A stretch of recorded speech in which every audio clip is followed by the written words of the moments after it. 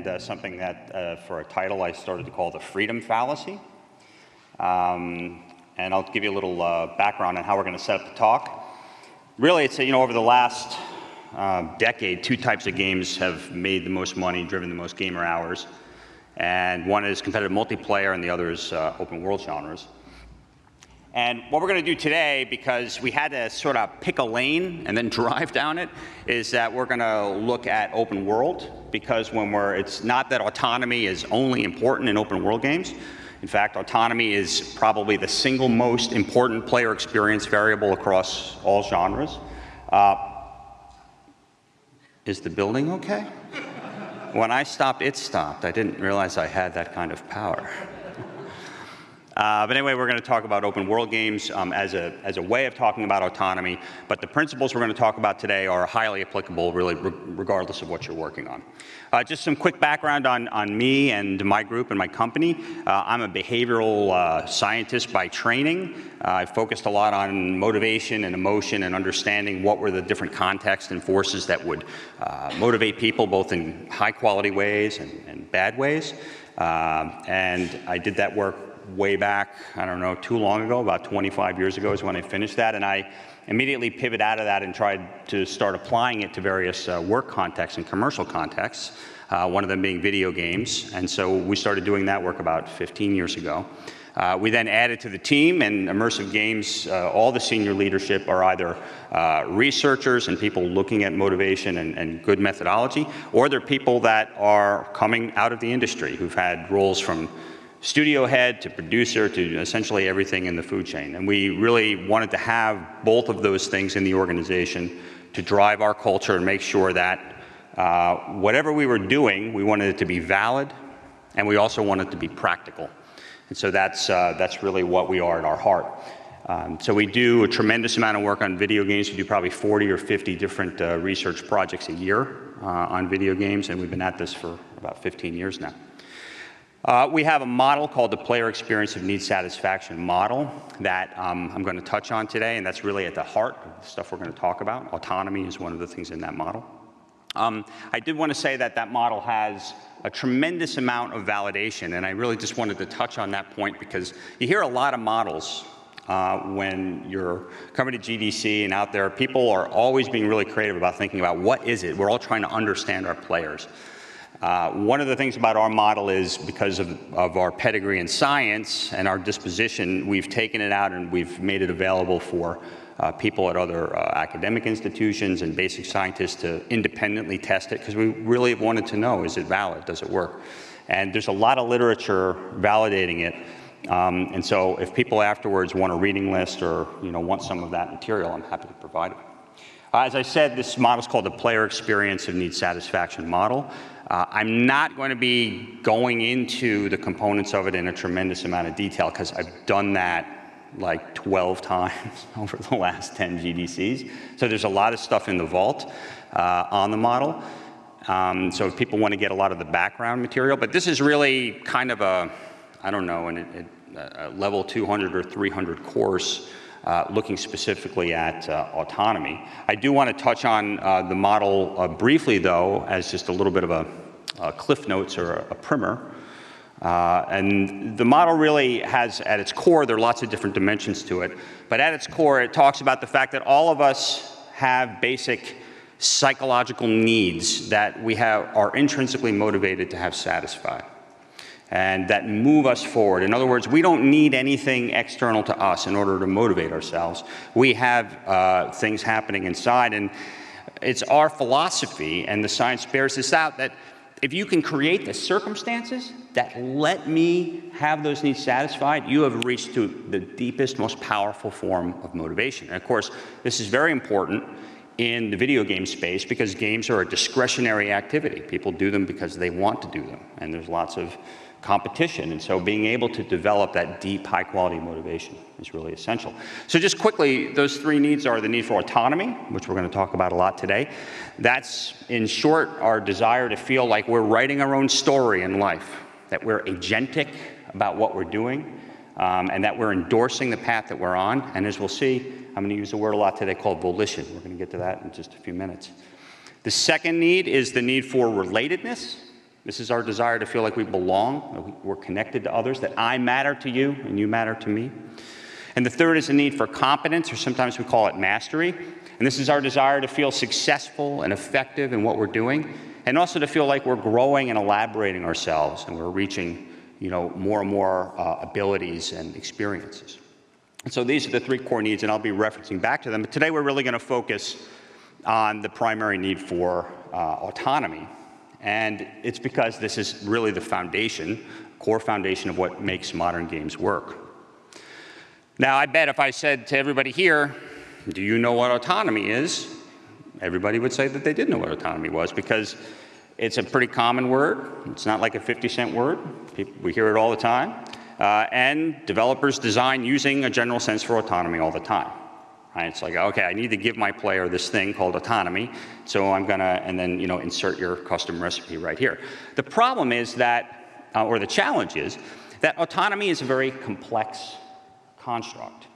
And misunderstanding it can backfire.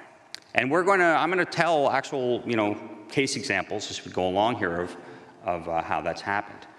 Uh, so what we want to do today, now since the doors are closed, is what we want to do is we want to science this up so that we can help everybody understand autonomy, not just make autonomy, but the, the blue autonomy, so that you can uh, dominate the market. So it's really understandable, by the way, that autonomy is misunderstood because the dictionary doesn't even get it right from the standpoint of psychology. All right? If you look at definitions of autonomy, you see that lots of words like freedom and independence and freedom and independence. It's just sort of everywhere. And there's a reason that it's like that and why it makes sense because that definition works for, let's say, if you're talking about countries, if you're talking about Australia or you're talking about Bolivia, except this isn't really Bolivia, this is Paraguay. Um, I'm sorry, we, we just have uh, John Oliver fans on our staff that helped me put this deck together. Uh, and maybe most apropos for this, the best example for this audience would be, you know, Naboo. But you know, it's okay if we talk about countries in this way, or if we're more and more you're hearing about uh, autonomous cars and different technologies, and it makes sense that when we're talking about those things, uh, you know, that you know, independence maybe is the right term. But when we're talking about people, it doesn't apply. It's, it, we're complex. We have consciousness, right? I mean, I don't mean to get too Cartesian about the whole thing, but you know, we're, we have a will and a self, and we, that creates a lot of complexity when we're trying to understand uh, the notion of autonomy. And so, what I want to do right up front is pivot us from the idea that autonomy is about freedom or independence to this definition, which is autonomy means that when we act, we do so volitionally. This is the new uh, synonym I want to give for autonomy here. And volition isn't independence or freedom to do whatever you want. Volition is wanting to do the things that you are doing, right? God bless the internet. So, the freedom fallacy, as, as uh, I said in the title, is that autonomy equals freedom. That freedom is a synonym for autonomy. In reality, autonomy equals volition. And I'm going to give uh, some proof here from everyday life. Right? There are many ways that we freely relinquish freedom in our lives. Right? So if we think about autonomy as freedom, that thesis gets disproven in the way that we actually act and go about our lives. So, you know, the, probably the biggest one is, you know, we meet people, we fall in love, and we get married, right? And so then freedom actually goes down. You can no longer, you know, stay up till the middle of the night, or at least I can't. I don't know, but you know, things change, right? But interestingly, our volition goes up, and our, you know, our sense of agency and that we're writing our personal narrative and that sense of autonomy, those that things go up, even though we've given up freedom. And then, of course, that story only gets more complex, right? And then, but you know, again, it's. This is what somebody with a small child puts this into every deck. Maybe, maybe in a few years I won't, but, but you know, it's the most wonderful thing, but it's also tremend- we're tremendously giving up freedom. So if we think about it as a, from a freedom standpoint, we have a problem. But when we think about it from a volitional standpoint, remember, we have multiple basic needs, right? It's not just that we want to be the authors of our lives, we want to actually do something in those lives. We want to have needs satisfied for belongingness and connection and growth and all of these different things. And so we, all of those needs drive volitional behavior. And when that happens, we feel agentic. And we feel like we are authoring our lives in a much fuller way than if we were simply behaving independently or behaving with freedom, right? So we create in our own lives structures and all these other things that are rich with need satisfaction. And it's that idea that's the overarching thing I want to talk about today. Is that really when we're talking about, uh, we're going to look at it in open world games, but when we're looking in games, it's not creating freedom, let players do whatever they want, give them independence. It's about creating those, that need satisfying uh, structure, content, and systems so that they are volitionally engaged and deeply satisfied. And the, these needs are really the three channels uh, for building that volitional engagement and satisfaction. So that's just a little bit of a kind of run up to how we're going to think about autonomy. But let's start talking a little bit about um, what does this mean for games. Well, the first thing is that there are some sacred cows out there or debates that um, you know, I think have started to change, but certainly were red hot, uh, you know, years ago before, you know, single player games started to become less and less popular. This whole thing about, well, players really want good story. It's my job is, is I need to give them an experience. I mean, you know, I'm going to give them some choices, but it's really about giving them an experience. And then there are other people like, no, like here are all these examples where you need to give them freedom, right? Because that's what players want, where they want to create their own stories. And the reality is that that's a false dichotomy players, everybody is right in that scenario. The, the thing that unifies it is if you think about it as volition, if you think about it as how do we satisfy players' needs, the reality is, and we're going to see this in games, that there are components of, uh, of narrative and you know, rich narrative that's written by, by you guys that we're drawing players into through uh, a focus on need satisfaction, and then there's also satisfaction through uh, more open, choiceful mechanics uh, that we think about more traditionally as uh, the purview of open world games. And another thing is that, you know, I, I, always hear terms that I uh, trouble me a little bit. So the whole idea of sandbox games, I know sandbox games are a thing, and I don't have time today to go into when sandbox works. But a lot of times the idea of sandbox uh, can, they can really turn into motivational sand traps because you sit there and you're like, I'm going to build this experience, I'm going to put all these activities in there, but I don't think about the question of what am I going to do in order to build volition and not just provide all of these things for people to do uh, in the sandbox and then expect them to go out and do that. And so even successful games make this mistake quite frequently. Um, you can see examples in almost every successful game out there. So uh, you take Red Dead Redemption, and this is, of course, a story where you're John Marston. You're bringing your own brand of justice to the West. You know, this is powerful, you know. And the way you're going to do that is sitting at a wood table and making sure you don't cut off your own finger. or you're Altair. People whisper throughout Italy in hushed tones of your incredible ability to clean up after the pigeons. or you're these guys, you know, cyber super hackers. I don't know what the tagline is for these guys, but they look pretty badass, right? It doesn't seem like they're going to take down the system by playing chess in the park, right? Particularly if they're doing it with an analog speed clock, which seems a little unusual for a hacker theme. Anyway, I'm, I, don't mean to pick on these things. What I'm trying to bring up is all, all games do this because when you build a big world, you, you know, on the checklist is I have to put things into that world for people to do. What are people going to do in this world? And that's the right idea. But the issue is you need to ask the question do these things build volition? Are they helping the player to create their own agentic player narrative where they feel need satisfaction? In those things. And if those activities are not, are, are just things out there for someone to do, but are decoupled from any uh, need satisfaction point, then they're not going to be activities that the player engages in. And so, one thing that uh, I always recommend when we're talking to developers is when you're thinking about these systems, when you're thinking about content, when you're thinking about all these necessary ways to layer in this activity into a game, to include this on your checklist. You know, how are you building volition in engaging in the activity. One thing that's really promising, though, about this idea uh, and, and the pivoting from freedom to volition is we no longer have to be afraid of structure and kind of directing players to do things. It's okay to direct players to do things. As a matter of fact, in all the research that we've done, both in games and out of games, structure is better than providing open and free environments in satisfying people's needs for autonomy. And this relates right back to the point I made with the example of people getting married and doing all these things, is that when you provide structure, you're essentially communicating to them, here are pathways, here are ways in which you can have your needs satisfied. You can engage in these activities, you can engage in them. By the way, the structure of this activity is you know, you can do a bigger sandcastle if you are doing it with another player. So there's opportunities to, you know, satisfy relatedness. There's opportunities. It's creating those structures that act and that telegraph or communicate need satisfaction that actually build that volitional engagement, and not just giving them a lot of freedom to do whatever they want to do.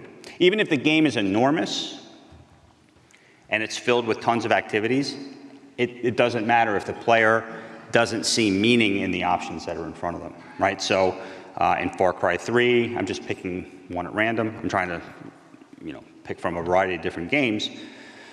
There's uh, the opportunity to go, you know, kill water buffaloes, you know, so that you can get crafting materials. And of course, when you first go to do this, this has a meaning. It has meaning in building volition because there are needs being satisfied. You know, you have the ability to craft materials and make different things, which gives you meaningful choice, which makes you more agentic, which satisfies autonomy. You also are crafting things that help to increase your ability and power, which is helping growth and efficacy. So you have autonomy and competence. I don't think there's any relatedness needs in shooting the water buffalo. I don't really know. Uh, so, so that's the thing is in this formula, it doesn't mean you've got to hit every need every single time. But you can see that you can, the way I just did, you can look at any activity and try to tear it down about what is going to be the experience in terms of need satisfaction that builds volition.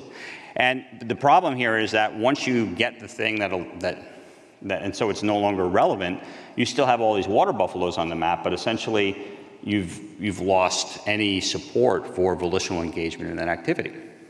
And what happens then is you still got a map with a lot of water buffaloes on it, but now all these things that are so-called opportunities for action or things that you want to do, these are really just points of noise. They aren't really opportunities. So the key is not just to offer more things and fill up the world with things to do. It's certainly more is better, but it's most important that however much you have, you need to have a dense network of things that matter to people because that's what drives volitional engagement. Now, just as a little sidebar, you hear this all the time. You want meaningful activities. You need things that matter. You need things that people value. We're always, I mean, nobody describes their game as it's a game full of experiences. They say it's a, it's a game full of great experiences. It's a game full of meaningful experiences.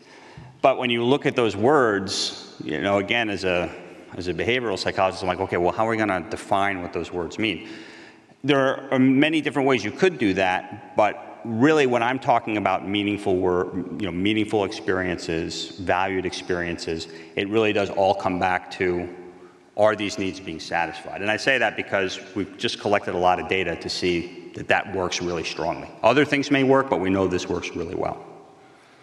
So I, I want to next take a little bit of time and go through some of the ways that uh, modern games and leading games, open world games right now, are building volition and deeply satisfying autonomy because even though the ingredients may be the same, autonomy, competence, relatedness, uh, the formulas can change. There's a lot of opportunity to be, you know, very creative in how these things get satisfied. So the first is, uh, you know, what we call the amusement park structure. And this is really invented and forever dominated by the game that essentially created the open world genre, you could argue, which is uh, Grand Theft Auto. And the amusement park structure is, you know, operates on a, a pretty simple premise, which is build a dense world of satisfying rides, right? So when you engage in the narratives in Grand Theft Auto, you're not, it's not really your narrative. You know, you're switching characters, you're engaging in different stories, but you're getting exposed to this world and these opportunities of things that have meaningful value in that when you engage in them, they're you know, you're conquering challenges, you're, um, you, these, these are not, these are good rides, right? And because there's enough of a spectrum of these good rides, it's actually very need satisfying and you feel a sense of meaningful choice. So this is all building volition. So GTA doesn't win because it's really big and there's lots of things to do. And I mean, how, I we, whenever any open world game starts to come out, people start, one of the metrics that people start talking about is how big it is. Well, we discovered you can take the ver last version of our game and fit it into a map that's 10 times as big. And everybody gets very excited about that. And the reason people get excited about that is one of the ways that players assume that they're going to have all kinds of autonomy is it's big because they give you the benefit of the doubt that no matter how big it is, it's going to be awesome. So, so that's kind of, I guess, a good thing, but it also creates a very high bar to clear. So you get a lot of freedom, but you also have all of these really uh, enjoyable and meaningful activities in GTA. But what GTA lacks are rich opportunities for growth. You know, it doesn't have RPG mechanics, or you know, again, I'm talking about early, you know, early GTA. I know there's we have multiplayer and all these other things now. I'm just trying to lay out um, a, little bit of the Uh, of the, the fundamental DNA of the game. And what it lacks really are rich opportunities for growth and also for creating a player story. Because the whole idea of a player narrative, the player narrative is really critical because that's how players integrate and amplify volition, right? We, are always, we're engaged in a, in a personal narrative all the time. And when we go into games, that narrative just continues. So these narratives will ideally reflect the player's self, interests, and values. And games can build volition by giving players the appropriate tools in order to uh, build those narratives. And so what we see in GTA is we don't see a lot of rich building blocks for that, but amusement park structures are, are relatively thin, but they do give uh, kind of words and verbs. I'm, a, I'm in a bowl, I'm a triathlete, I'm going to be in a drag race. And so the player then has to assemble, you know, essentially a narrative about, well, I'm a really, I'm like the most awesome drag racer, you know, in GTA, or, you know, they're assembling a narrative. But, you know, it's really, it's relatively thin. And so when we then start to look at some other examples of how needs get satisfied in open worlds, we start to see uh, how people turn the knobs on some of these things in order to increase volitional engagement. So the next thing I want to turn to is an approach called the dense RPG approach. And a good representative for this is Skyrim. Um, people have played the hell out of Skyrim for a lot of hours over a very long period of time. It has a very high level of sustained engagement and volitional engagement. And Skyrim really wins because they have incredibly rich RPG systems that deepen uh, volition by empowering growth and providing richer narrative threads. They're, they're giving much longer narrative threads than you would in an amusement park structure, right? So there's just, it's a staggering amount of things that you can do uh, when you're in the game. And this results in uh, more elements of need satisfaction in order to build uh, volition. You've got more meaningful choice, but you also now have the ability to build agentic narratives because you've got all these narrative threads that you can begin to, to stitch together to build your narrative. These are not things that are really present in the amusement park structure. That builds volition.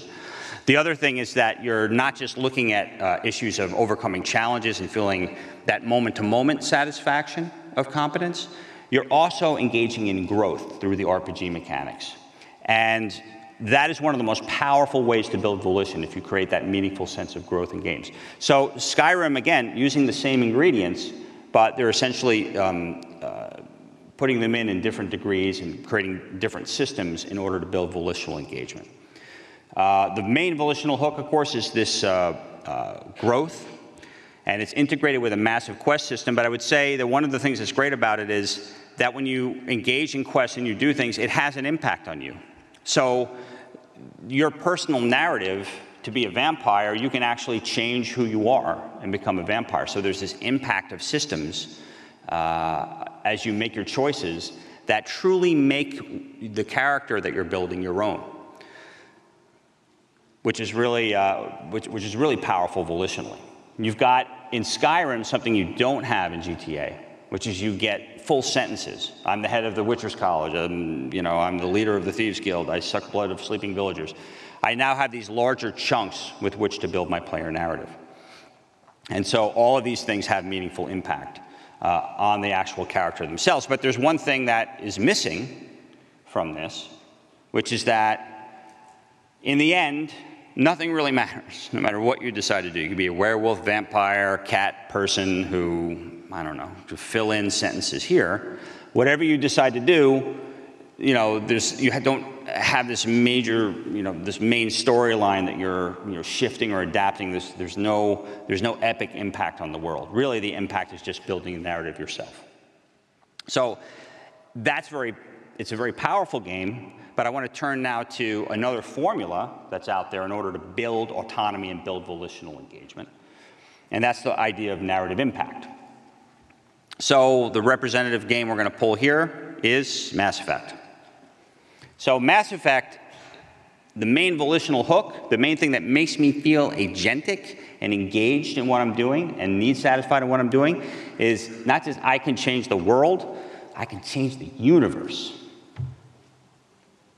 And so they're spreading out across multiple needs, various satisfactions. So you're getting meaningful choice. You probably can't notice it. It's slightly less meaningful choice, but you're instead of making meaningful choices amongst little tributaries and rivers of things that are going on, that as you would in Skyrim, you're making choices between these sort of deep, you know, these deep rivers that go very, and, and they're all like coming towards the ocean, and you have a sense of epic scale. And this is rendered in the content and in the cinematics and in all of these things, right?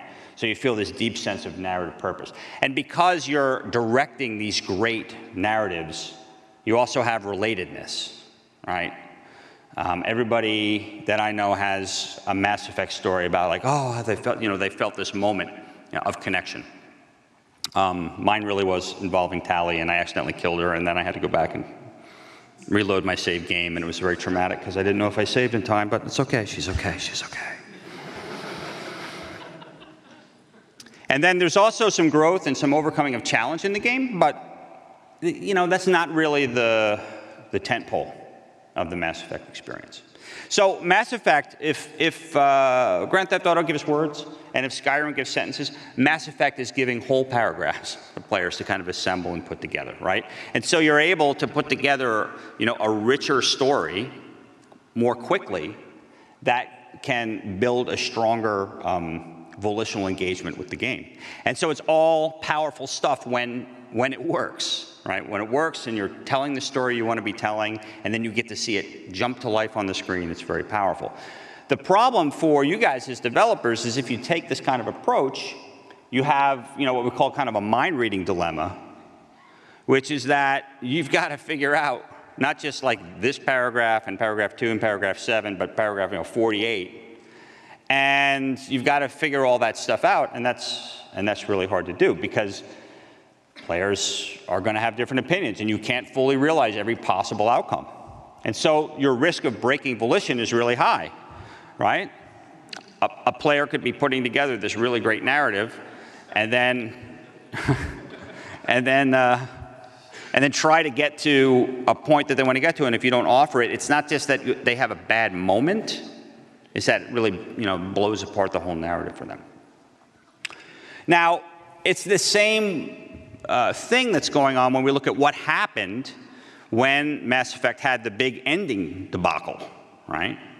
Because if Mass Effect is sort of standing on giving people meaningful choice to create their epic story about how they save the universe, having everything end the same way is not just like, oh, that, oh, I'm really mad at you for doing that.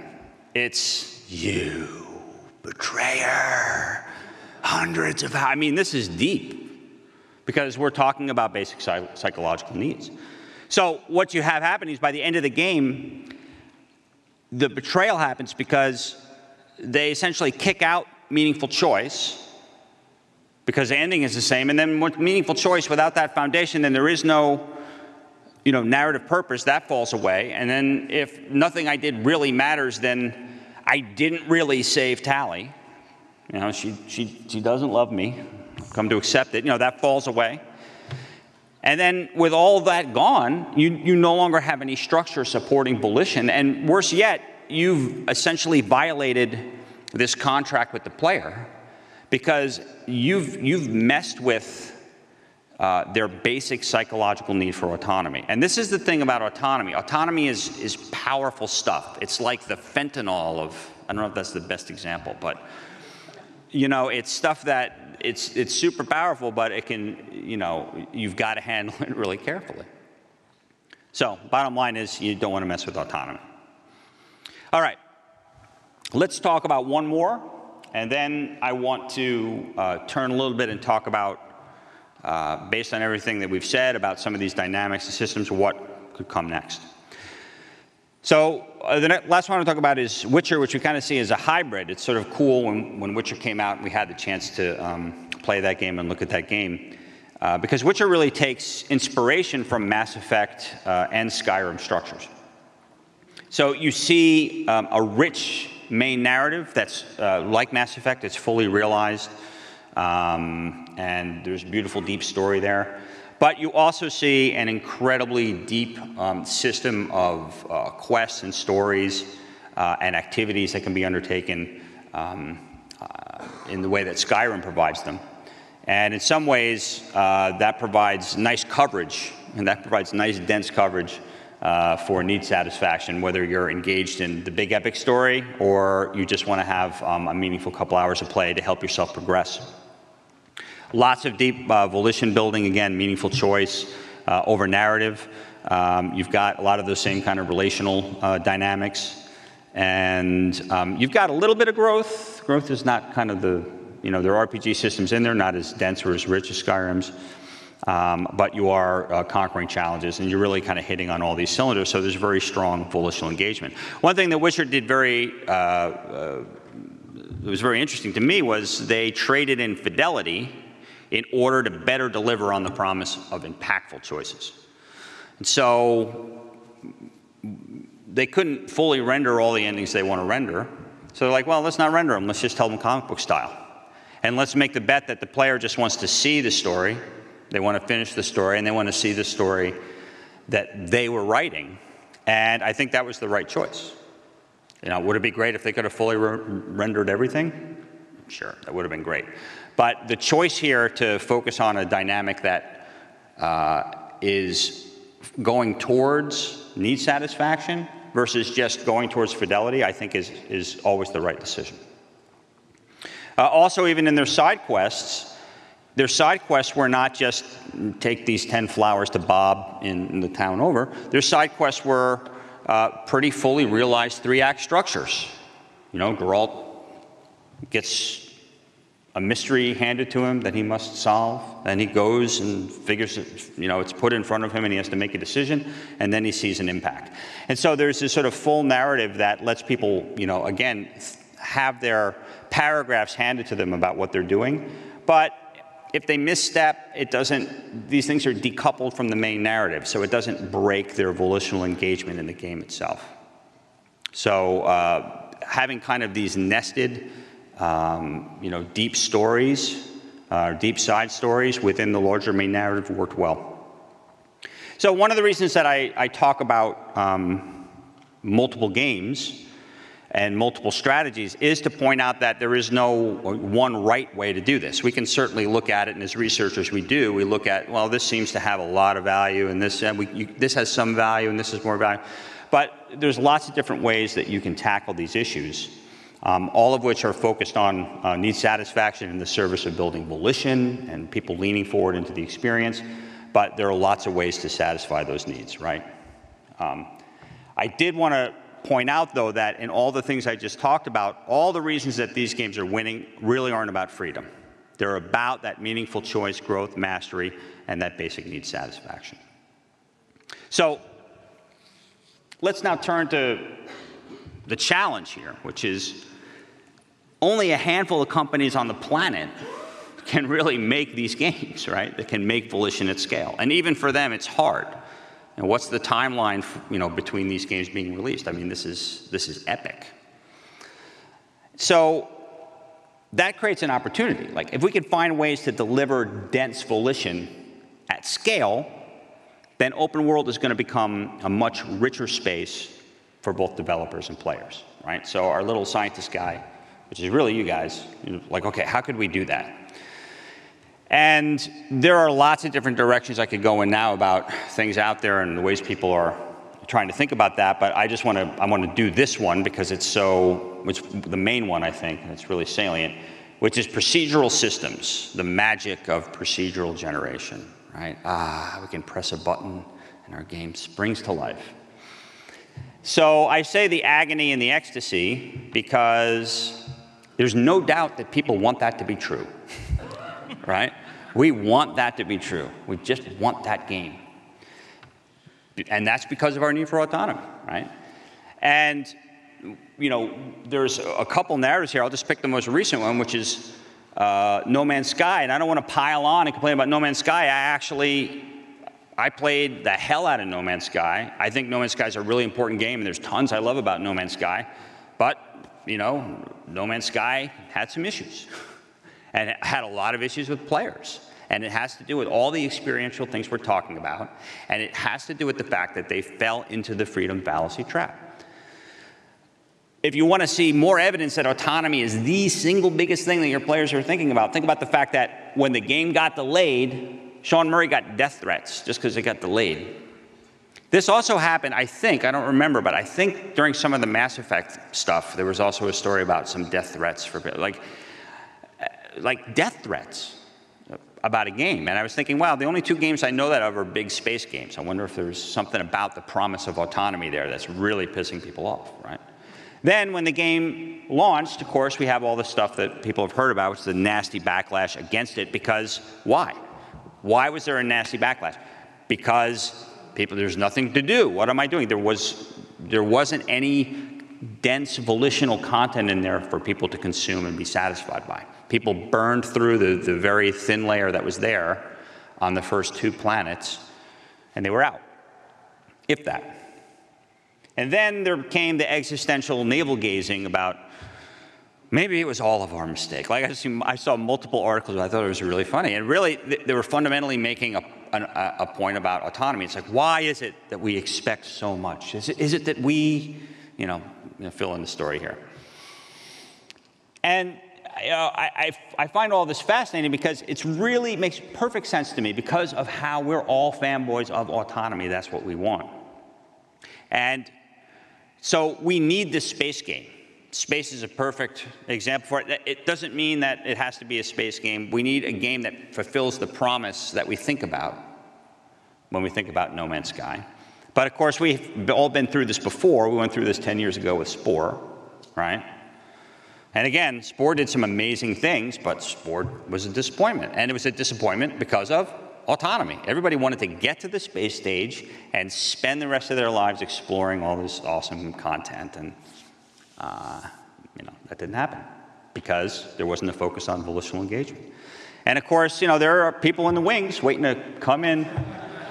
So there's some other people on deck to either make us all super, super happy or need to go into hiding. I don't know. But I'm rooting for. I'm rooting for it. I'm rooting for this genre. Um, I think I understand why players want it. Players, you know, project this. To come back to the point I was making earlier, they project this deep autonomy satisfaction within this universe. But it's because they don't know what the game is yet. So all they have to go on, the only information they have to go on, is when you tell them about size and they project autonomy into size. And don't fall into that trap. Because they don't really want size, they want, they want size, but they want to be, they want volitional engagement. And so we figured out how to make all these planets with procedural content. And I just want to say that if we're going to solve this issue, whether it's in space or some other type of game, we're not going to solve it by procedurally generating content and then backfilling it with handcrafted uh, you know, material and activities. You know, it'd be like trying to fill up the ocean with a shovel. It's just, it's not going to happen. So I want to propose that you guys all go out and maybe tackle, if you're not already, you tackle a, a challenge, which is the idea of building procedural volition. And what I mean specifically here is that you create systems to automatically generate content whose focus is the player experience of those basic need satisfactions. And that may sound like a moonshot of an idea, but if you think about it, look, we, we already know, we've distilled down what the essence is of that all important autonomy satisfaction, which is volition. We know what the granular experiences of need satisfaction are that accrue to that, and we can look at current games and we can see the types of things that they're doing in order to satisfy uh, volition. So we have a lot of interesting pieces on the board, right? So now what we have to do is we just have to figure out how to how do we get that to scale, right? So you know, shouldn't be that hard. Obviously, super complicated because now we have to deal with uh, we have to deal with psychology in the mix, um, and we have a whole other set of variables. But you know, I think that I think I would love that game. I bet most people in here would love those games. I think it would be transformative to the creation of games, and I know that players want it because players already feel like they've been promised it like 40 times. So they're, you know, they're a little bit on edge and suspicious at the same time.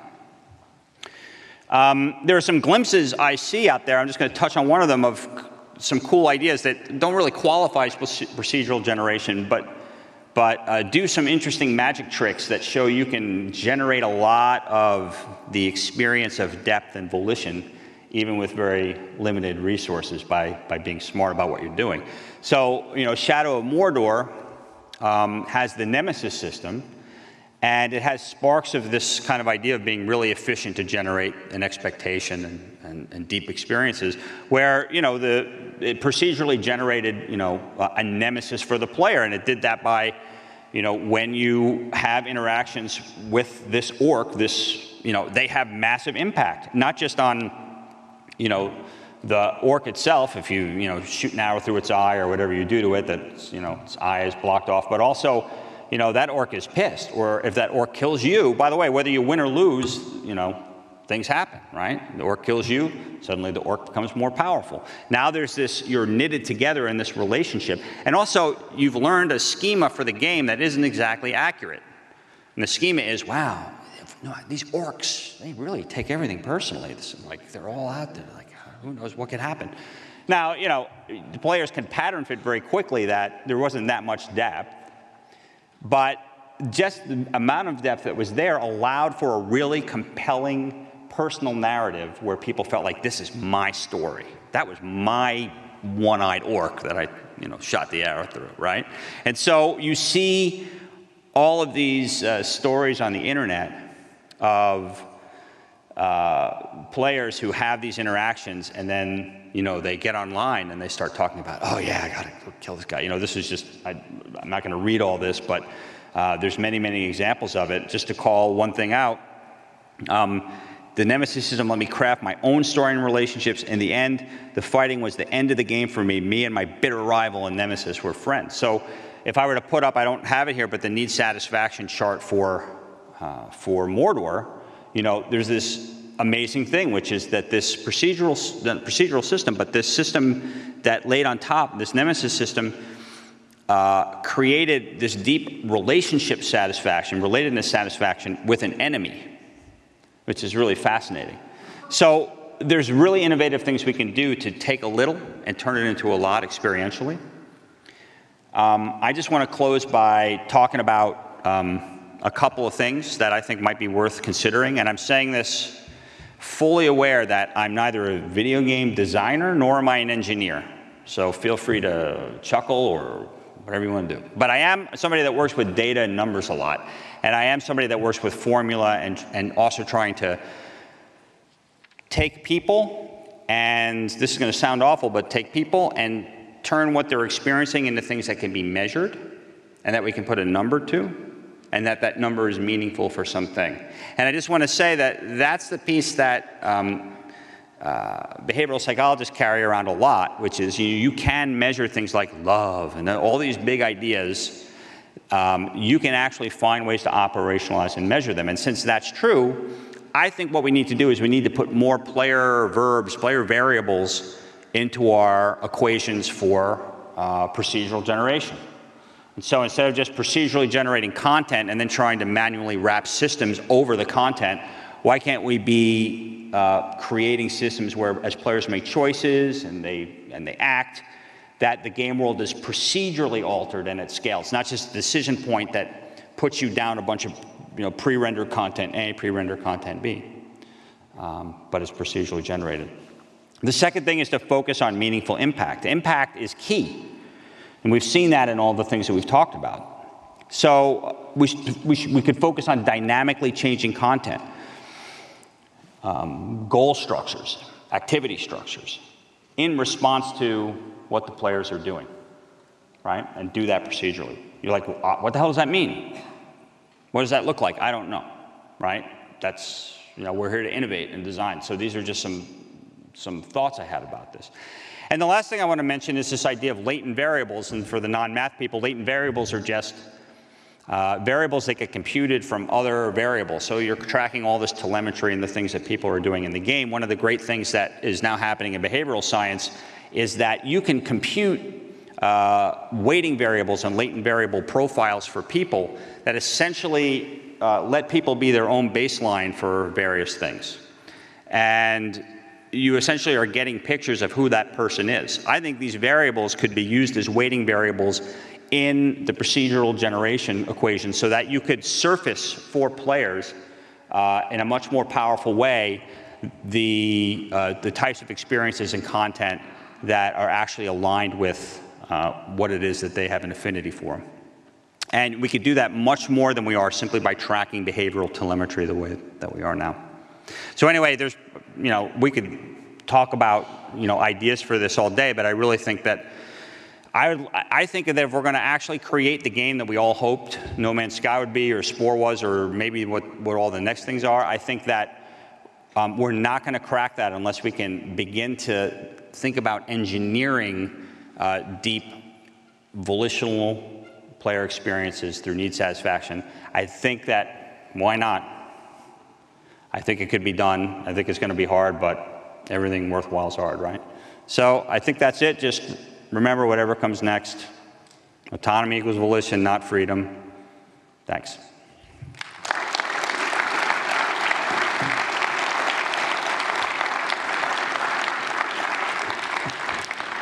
All right, so if people have questions, they can come down to the mics. All right, yeah. Hey, how's it going? Thank you. Um, I was wondering if you had spent much time thinking about, um, uh, with regards to belongingness and relatedness, um, the role that other players can play, mm-hmm. Um, and of course, um, how one would measure that effect once mm-hmm. you realize that there are other players that are creating this sense of belongingness. So, one thing I didn't talk about at all today, which was just very deliberate, is other players. Other players is uh, a massive interpersonal uh, variable and mechanism for need satisfaction. Um, it's, you know, when you look at competitive multiplayer games, the reason that competitive multiplayer games are so big, and I didn't talk about them, but I referenced them in the beginning, you know, a lot of this has to do with uh, that kind of relatedness, uh, satisfaction that's going on. Um, I think that when I think about relatedness uh, in this context, I, I just go back and just like any other system, I would say, uh, what are the uh, experiences or social systems uh, that you want to set up in the game for you know, multiplayer interactions?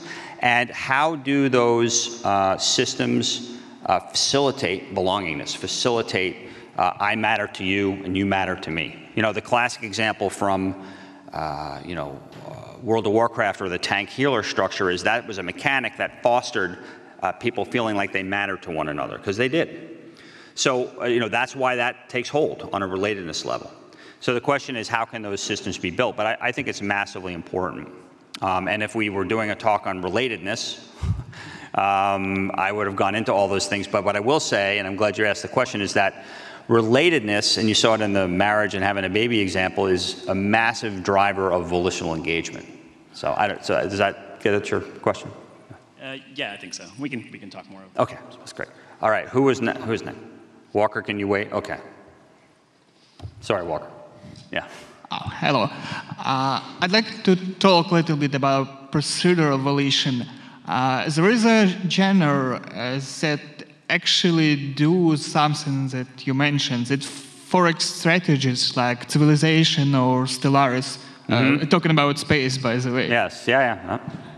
Uh, how do you think uh, can we uh, distill somehow the principles like for, for that that are work in these 4X games and apply it to open world? Yeah, I, I, so I think, sure, I think that's as good idea as any. I mean, I, I, think that those games have a lot of very deeply nested systems that all operate and they create a, they create a dynamic uh, arc to a game that can last, you know, I don't know, 20 or 30 hours. Um, I think what we're talking about here, though, is taking things to a much greater scale. Um, in other words, when you play those games, you do get a narrative arc, but you tend to you tend to play the same story over and over again. This is the story of you conquering the world, or the story of you conquering the universe, and then you just kind of go back again. Um, it doesn't create this kind of persistent um, uh, persistent universe that I think is a different thing than things like those uh, strategy games are. But to your point, I think that some of the ideas in there about how they're combining dynamic systems in order to create a ever-changing you know landscape moment to moment that lets the player in one game say I'm pissed off at Gandhi for nuking me, and in another game being mad at you know, Montezuma, and you know, I, you know I think there's something worth mining there, sure. Uh, Walker.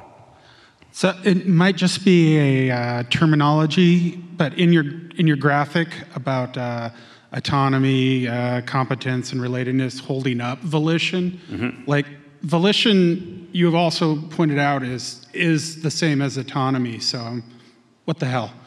Right the hell, right. So you're asking a really nuanced semantic question. So uh, autonomy is uh, autonomy is the feeling of agency. It's the feeling of that I am creating my story, right? Mm-hmm. That's really what autonomy is.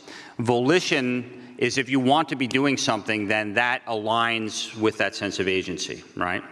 And so um, when I put the autonomy as a support, there are other things that also create that sense of wanting and other things. There's the creation of meaningful choices and, and those sorts of things. The other thing I would say is that if you want to get really deep into self-determination theory, it's often the case that you talk about autonomous functioning as a roll-up of all the need satisfiers. Um, because that's, if you had to pick one overarching principle of self-determination theory, it's that you're beha behaving in a way that feels like you fully endorse the path that you're on, and these things all become inputs to that. Okay. Hi. Um, I was one of the designers on Spore, and we mm-hmm. had, um, like, after the game shipped, a lot of hardcore game players really hated it, and we were down on it, like you mentioned.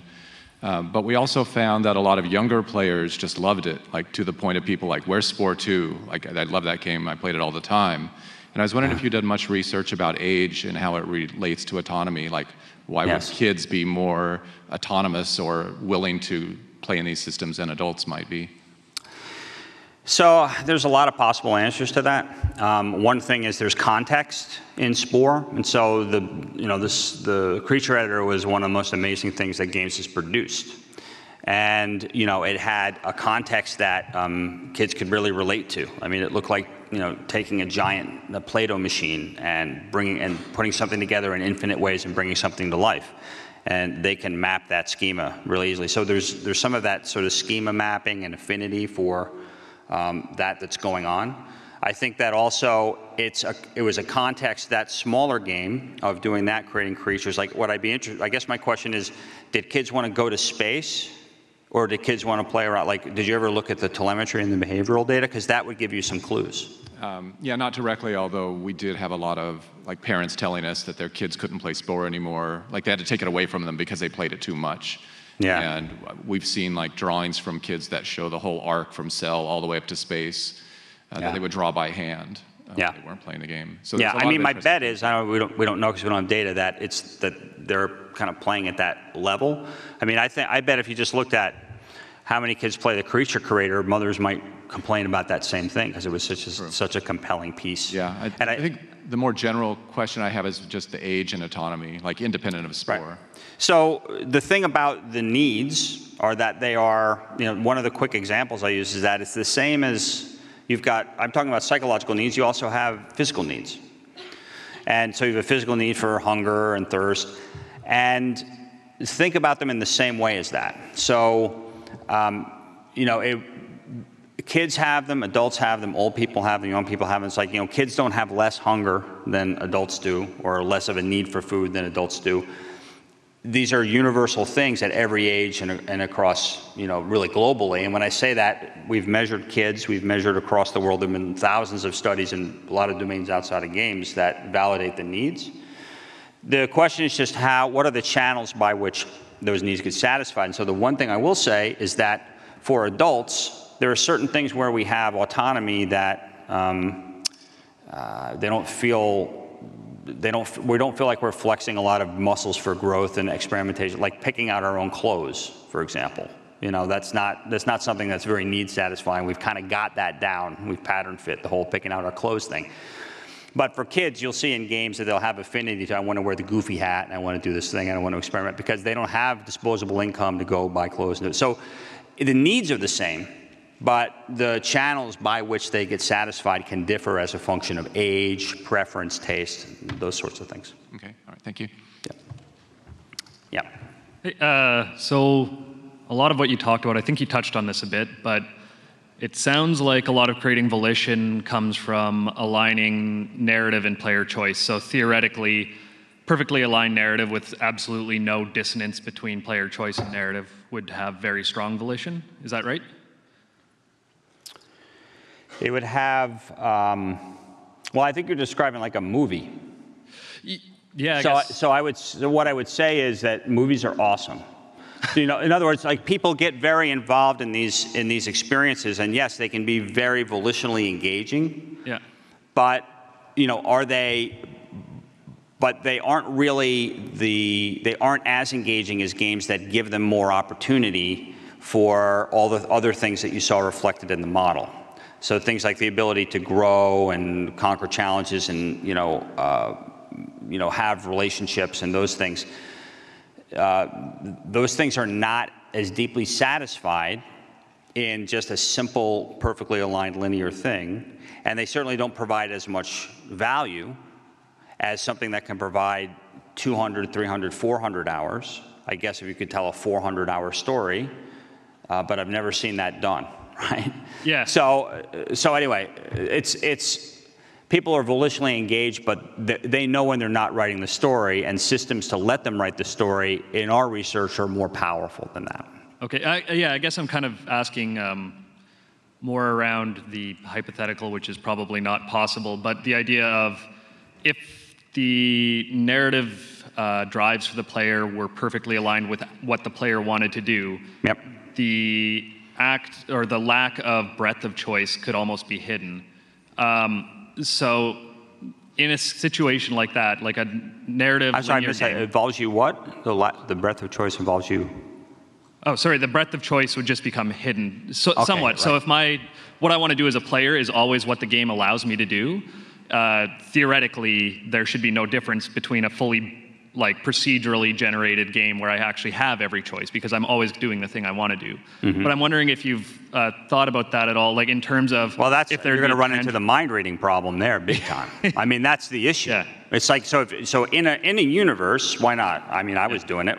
Let's do it with you. In a universe where you could create a game where um, every turn that the Yeah. player made was they thought there were ultimate turns, but it was only that turn, and it just kind of followed them perfectly, and so you could deeply realize it and crush it. That would be awesome. I, I don't think it's. I don't think it's. I think I'll just try to, to rephrase the question. Yeah. Uh, is it a game like, say, an Uncharted game or a Last of Us? Uh, Mm-hmm. Do you think those actually have potential for the same levels of volition as a more open world game, or are they just inherently better at dealing with other needs or satisfying other needs? I think that when people find the in those games, when people find the narrative engaging and they feel like uh, they the needs are being satisfied for their sense of you know competence or connection to NPCs or whatever those things are, that they are volitionally engaged in those experiences. I think they're simply at a competitive disadvantage to other games that are let, giving them all these tools to more fully realize a personal narrative. Okay. So I, I mean, you know, so that's a little bit different than saying this one's worse at volition than this one is, because I think if you took in the moment, is the person volitionally into this. I think that there are certainly going to be moments when the games align, as you point out, where people are going to have volitional engagement. I think it's it's looking at it this other way that I would say that, you know, this is a main reason why that genre has largely died out. Yeah, makes perfect sense. Yeah. Thanks. Uh, real quickly, you talked about um, your examples. You talked about Skyrim uh, and games like The Witcher. One of the things that's so different about those games is Skyrim kind of gives you the avatar suit um, and lets you sort of make that character anyone you want it to be and customizes race, gender, all that stuff. Yeah. Did you guys ever collect any data or have any findings or try to isolate what the, the engagement rate versus you know players that get to choose exactly who they want to be versus somebody who steps into a Shepard or Geralt? Yeah. So I have. We haven't looked at that recently, but I've looked at that, you know, in the past, and uh, from a from a volitional standpoint, it, there's not a major, there's not a massive impact of those things, right? Because the reality is that regardless of who I skin myself as in that game, whether I get to pick the skin or whether you make me Shepard or somebody, that what the research does show, and that we know we've answered pretty definitively, is that there used to be a debate of do people get into games so that they can, you know, do crazy things and pretend they're a plate of, you know, sentient spaghetti and whatever. And games allow you to be anybody. That, that's not what players do. Because they want to feel volitional engagement, have needs satisfied, they've they've optimized how to do that by actually being who they are and wanting the game to let them be who they are, right? And so they're going to tell a player narrative whether they're you know, uh, sh- whether they have to play Shepard and they don't like the color of his, you know, shoes, isn't really going to matter. They're going to, you know, essentially uh, be looking at the, the core mechanics of the game and narrative and everything in order to tell their story. So, Thank you. yeah. Uh, how much? Oh, we're done. All right. I'm sorry. I'm being, I'm giving this sign that sounds serious. So, thank you very much, everybody.